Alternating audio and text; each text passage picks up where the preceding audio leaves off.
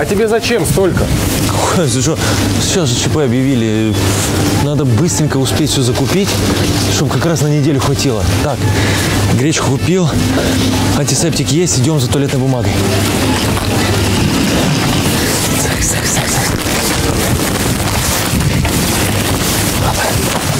Дим, ты что, за неделю все это используешь? Какой использовать? Ты чего? Я это все буду продавать. Сейчас наш народ все раскупит, потому что чрезвычайное положение. А у меня останется, понимаешь, эксклюзивный товар. И эксклюзивные новости. Кстати, насчет эксклюзивных новостей прямо сейчас через заставку будем с вами все обсуждать. А пока я занимаюсь своим бизнесом.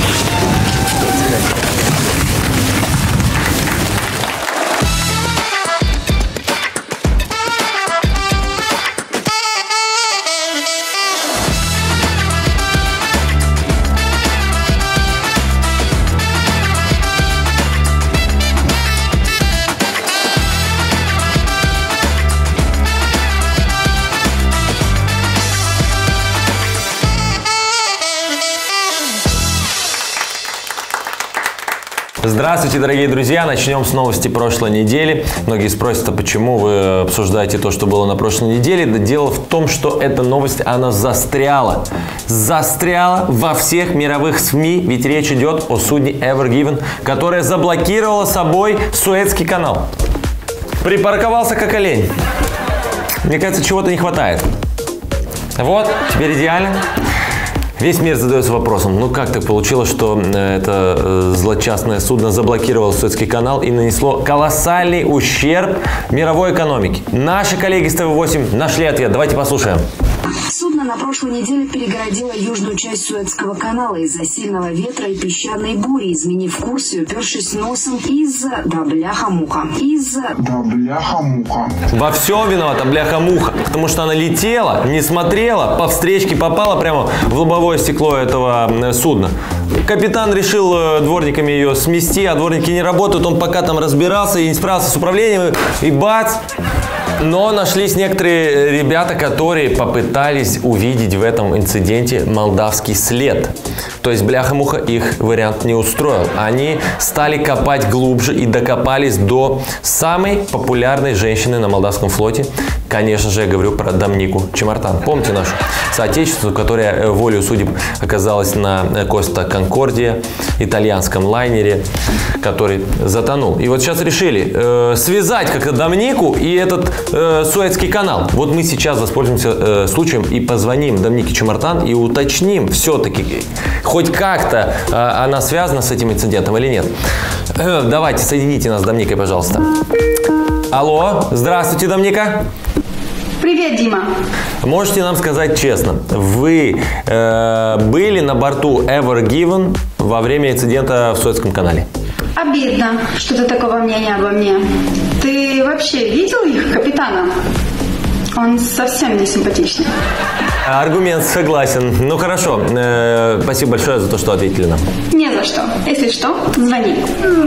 Не виноватая я, он сам застрял. Понимаете? Мировые конспирологи, вот вам ответ. Не надо во всех бедах э, искать молдавский след. Видите ли, из-за наших женщин застревают суда. Из-за э, в штурме Капитолия участвовали молдаване. Или э, ледники Антарктиды тают из-за горячих молдавских мужчин. Неправда это все. Ну, кроме, может быть, последнего.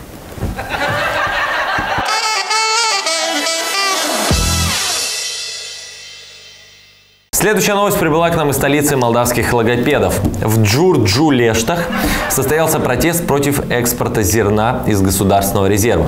Причем, как всегда в нашей стране, э, когда что-то происходит, поначалу ничего не понятно, что там творится.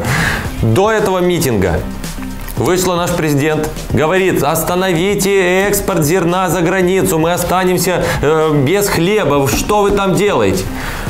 Пришли митингующие, стали останавливать своими телами фуры. Потом вышел Александр Слусарь и сказал, ребята, что вы там, успокойтесь, прекратите, это не государственные резервы, это экономический агент, он занимается бизнесом, продает зерно.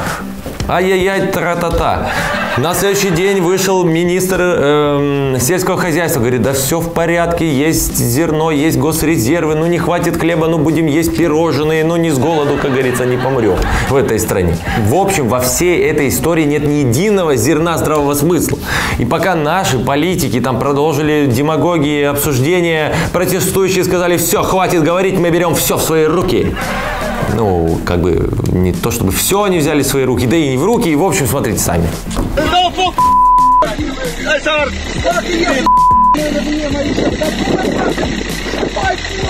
Во-во-во! Ой! Отлив! Вау! Вау! Вау! Вау! Вау! Видимо, этот участник оказался пекарем и решил всем продемонстрировать свои булочки, понимаете? Но э, мы вот что решили. Есть же язык э, жестов, а это, наверное, язык митингов. И если переводить с митингующего на человеческий, то это звучит так. Уважаемый господин полицейский, мы просим вас принять во внимание э, наше мнение и советуем вам перейти на нашу сторону. Вот оно как. А мы-то все подумали, ой, как, какой стыд, срам.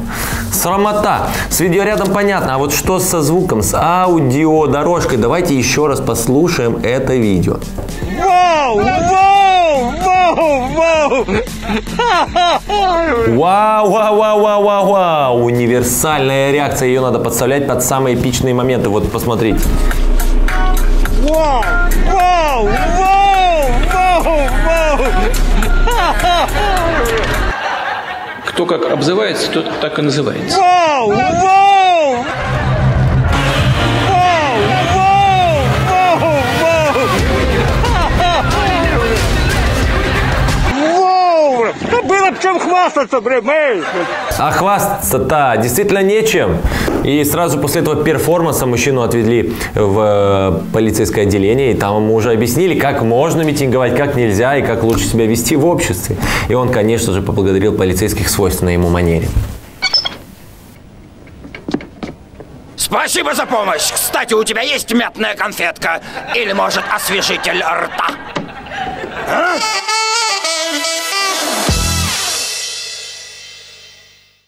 Продолжим выпуск нашумевшей новостью. Думаю, вы все уже в курсе, что мэр Бельц, э, Ренат Усатый, Первая новость, кто-то до сих пор не в курсе. Ну, а вторая, э, значит, он самый пригласил на концерт в честь 9 мая выступить такого скандального исполнителя, как Моргенштерн. Казалось бы, в Бельцах с концертом выступали уже и Бузова. И сам Ренат Георгиевич нет-нет, да и брал в руки микрофон и издавал что-то похожее на песни. Куда уже хуже. Моргенштерн. Как так? Это все-таки 9 мая. Звать такого исполнителя с таким э, чисто немецким псевдонимом Моргенштерн, но говорят, что сам Алишер решил э, ради этого переименоваться в э, Red Star и едет уже с новыми песнями, видоизмененными своими хитами, такими как э, Кадиллак, Кадиллак, разбомбили мы Рейхстаг. Это хорошая песня. Есть еще одна. У меня проблема. Видно немцев слева. И есть, конечно же, э, его самый популярный хит. Это «Я тусю, как молодой Сталин». Чуки, пачки, чучки, чки, бери грибочки. В общем, изменил слова. Все, все для вас. Э, Ну, это шутка, конечно, друзья. Это фейковая новость. Мы просто решили проверить, знаете ли вы, э, что в нашем э, пространстве, в масс-медиа сейчас появилось очень много обмана, очень много фейковых новостей. И простому обывателю уже очень сложно отличить правду от вымысла. ТВ-6 от ТВ-8, э, Примул от Прайма и, конечно же, Николодион от публики. То есть сложно. И поэтому наш э, специальный корреспондент Геннадий вышел, чтобы проверить у обычных кишиневцев э, навык умение отличить фейк от нефейка. И вот что из этого получилось. Рената Усатый пригласил Моргенштерна на концерт в честь 9 мая. Да, это правда. Я думаю, что это правда. Я тоже думаю, что правда. Или не- нет, это Шор был, Орхей, Шор, Да, что-то да. такое. Они же не видят, видят смысла между артистами и мероприятием. Моргенштерн это достаточно знаменитый артист. А Ирина Толсаты, так я- как я... Тоже достаточно знаменитый артист. На 9 мая что поет Эргенштейн? Этот он же поет какой-то бред там. Э, А на 9 мая надо приглашать таких, которые поют, понимаете, это же память. Да, надо звать, кто поет хотя бы лучше Рената Усатова. Я пою лучше Рената Усатова. Вас позовем. Предлагаю с, с Ренатом спеть на 9 мая. Это неправда. Почему?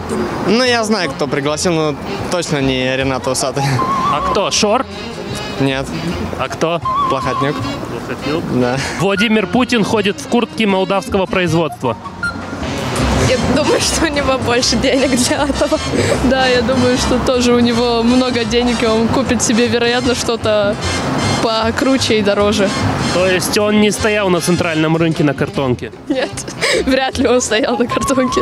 Это как они определили? Бирка торчала где-то. Ну да, что, не видела бирку Ионел? Ионела Руси? Вы шутите? Вы просто Не, издеваетесь. это, это правда. Новость, она реально ку- куртка сделана, сшитая в Молдове. Власти Кишнева предлагают нанять людей для наблюдения за теми, кто мусорит. Думаю, да. Да? Вы так переглянулись, как будто сами мусорите. Ну, вот это правдивое, потому что город обязательно должен быть чистым, а люди Да. и есть невоспитанные, которые кидают мусор. Я активист, э, гражданский активист, который тоже присматриваю за любым. Курит, подхожу и говорю, почему ты бросил? Бычок, подними.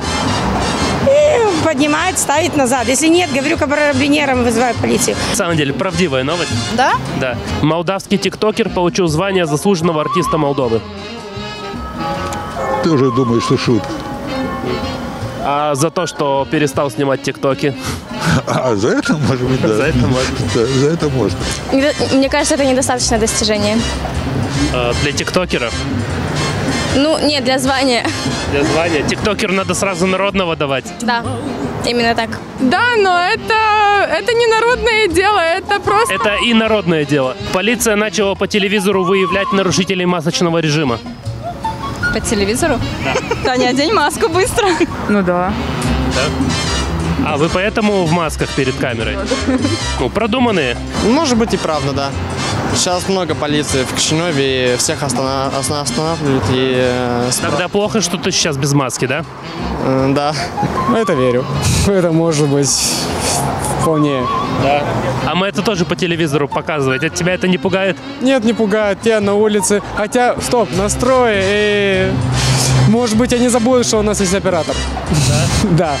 Ну, нарисуем тебе квадратик на лице. Да, что размыто. А, Молдаванка защитила диссертацию о краже миллиарда. Почему нет? Очень даже, думаю, да. Я, не, я не скажу ответ. Я А я хотела против президента только что пойти. А думаете, это она защитила? Ну не знаю, блин, в Гарварде где же. А как думаешь, до или после кражи? Во время. Эксклюзив News стала первым проектом из Молдовы, номинированным на ТЭФе. Да, вот в это я поверю. А на Оскар? Нет. Потому что у нас нет негров.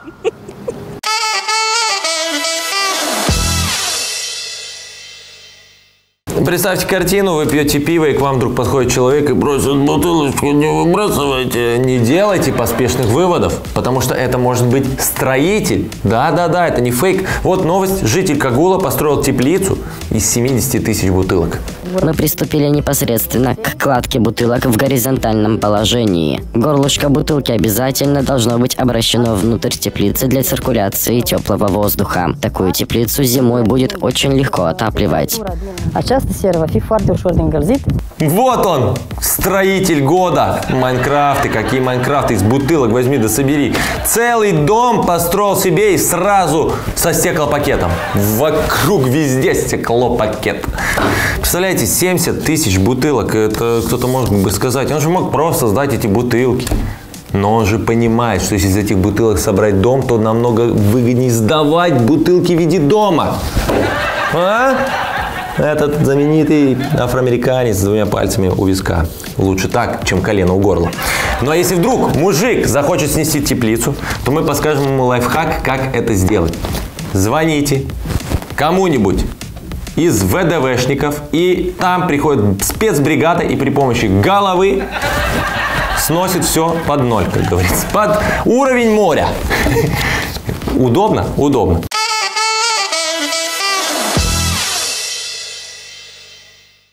А теперь новости спорта. Наша сборная по футболу. Сборная Молдовы поставила два рекорда за эту неделю. Ребята, красавчики. Значит, первый. Проиграла Дании с самым разгромным счетом в своей истории. Второй. Подарила Дании самую разгромную победу в их истории. Умеют делиться наши футболисты. Молодцы. Не только для себя. 8-0. Многие из ребят даже до 8 считать не умеют. Они даже не поняли, что это за цифры, сколько там они нам забили. 8 голов. Если бы восьмерка упала, получилась бы бесконечность на ноль. Именно такая э, зияющая дыра разделяет два футбола, датский и молдавский. Извините, на самом деле мне больше нравится баскетбол. Э, Вот. Э, Ну, вы должны понимать, сборная Молдовы, э, почему она проиграла? Во-первых, у нее состоялся невероятно сложный, упорный матч со сборной Фарерских островов. 1-1. Ребята не ударили грязь. Вернее, они били грязь, как могли. А надо было бить по мячу. И получилось 1-1. Но Фареры мы знаем прекрасно, это знаменитая футбольная держава, этот вулканический остров, он, э, на нем живут тут 50 тысяч чисто футболистов, это беглые каторжники футболисты, это футболисты, которых э, все с золотыми мячами, они все приезжают туда и там играют, не то что наши.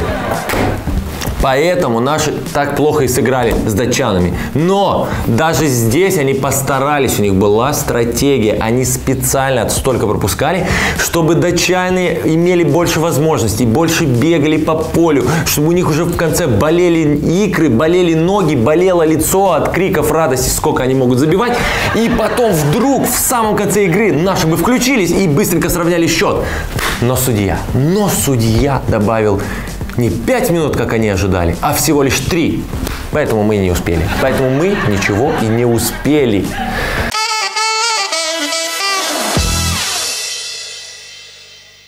Дорогие девушки, если вдруг какой-то парень скажет, ну что, давай-ка приходи ко мне, покатаю тебя на итальянской машине за 50 тысяч евро, будьте осторожны, ведь этим человеком может оказаться простой водитель троллейбуса, новых троллейбусов, которые будут кататься по нашей столице. Вот такие два троллейбуса э, гармошки из Италии купила наша примария из Молдавии. Э, Хотя их уже не называют гармошка, это уже не модно, это баян. Вот. э, Сейчас их называют сочлененные. Да, и, по-моему, это название специально придумали для того, чтобы веселить школьников, которые ездят в этих троллейбусах. Сочлененные. А сейчас едем в школу и учить по математике многочлен. Товарищ кондуктор, может, дадите нам уже два билета? Хорошо. Никакого юмора в тебе нет. Ладно. Э, вот раньше нам из Италии прислали панеттоны, сейчас прислали троллейбусы. Это уже хорошо, значит, улучшили отношения. Э, единственная проблема, для такого груза не могли найти подходящего объема тару. Вот такая вот усовершенствованная логистика помогла троллейбусам добраться из Италии до Молдовы. И сейчас по Кишиневу будут ездить итальянские троллейбусы, ведь это здорово. Теперь в них люди не будут э, ездить как э, шпроты в банке забитые, а уже как сардины в консервной банке. Ну а их потолки этих троллейбусов, их же расписывал сам Микеланджело Буонаротти. Это ж красотища какая. И не удивляйтесь, пожалуйста, если вдруг в итальянском троллейбусе к вам подойдет кондуктор и скажет, ты пришел в мой троллейбус, даешь мне двалея, но делаешь это без уважения. Дайте ему все деньги, которые у вас есть, и бегите. Бегите на другую остановку, пока там едет сзади э, наш обычный белорусский простой. Говорит, что, хоть что-то мне принес сегодня? Ну хорошо, заходи уже так, проедешь, как есть. Да, да, да, да, да. Ну и самое главное, с чем у нас ассоциируется Италия, это, конечно же, музыка. Музыка теперь в этих троллейбусах будет совершенно другая.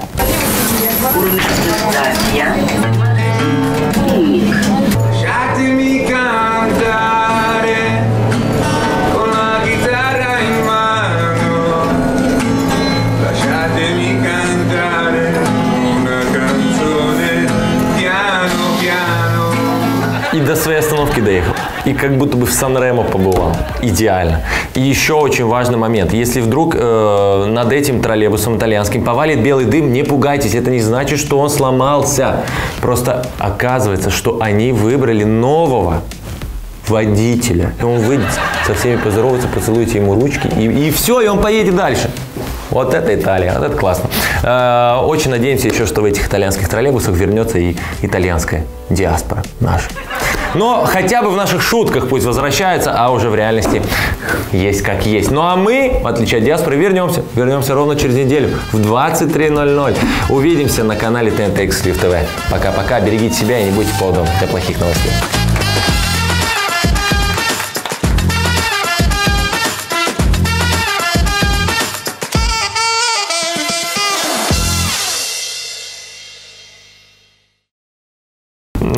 Кстати, в интернете сейчас посмотрел, что э, Дания, э, сборная Дании, забивала 8 голов еще только лишь одной стране – Румынии. И вот это единственный раз, когда можно сказать, что э, Басарабия и Румыния. Все, других вариантов нет.